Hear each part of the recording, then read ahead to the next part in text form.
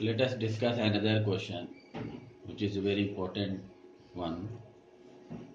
Z under root minus 6 is not a UFD. UFD means unique factorization domain. Let us see its solution.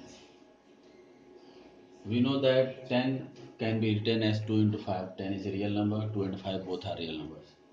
And also 10 can be written as 2 plus under root minus 6 into 2 minus under root minus 6. Thus we have represented 10 as two different way.